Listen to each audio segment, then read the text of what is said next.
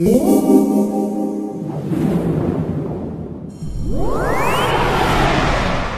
now you've got the basics of using audio in Max MSP down, I'm going to show you a few things that are going to make your synth building days far more exciting. First thing I'm going to show you is a couple of different style or sounding waveforms. First one is phasor, which creates a sawtooth wave. The first thing I'm going to show you is another waveform, phasor. This creates a sawtooth wave and you connect it up in exactly the same way as a sine wave. There we go. And just to show you the difference, I'm going to play you the first one and then change the outputs and play you the other one. So, sine wave. And let's just get rid of that. and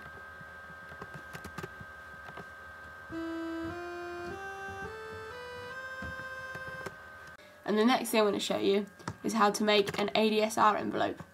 So if you double click and select the function box, this is where you'll be able to draw your ADSR, which I'll just demonstrate now. There you go. But there's a few, there's a couple of things you need to do before you start getting any amplitude out of that. First of all, we're just going to send the function box a message saying set range. And as I mentioned in a previous tutorial, amplitude wants to be between 0 and 1, obviously to avoid distortion. So we want to make sure the range of this function box doesn't go above 1. So that's going to be the lowest point, the minimum, and then that second number is the maximum. So we'll send that to the input.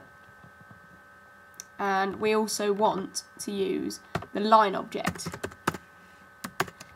This is an audio max object, but you can also just delete the tilde and use it as a normal MSP object.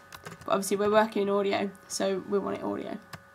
So to get this working, you need to connect the second output of the function box to the first input of line, and this will create a series of numbers between 0 and 1 that will change over a period of time and automate your amplitude.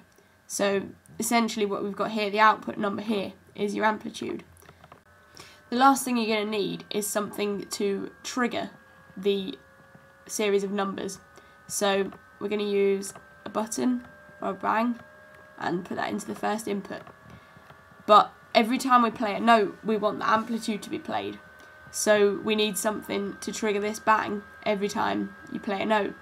So we can simply just take an output from the number to the input of the button.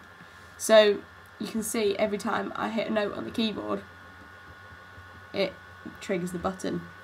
So let's just show you what happens so you can hear what happens.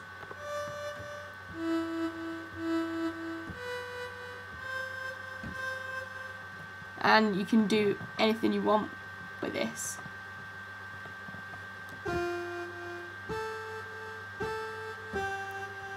So just have a play around. You can connect it up to the sine wave as well in exactly the same way you've connected it up to the phasor.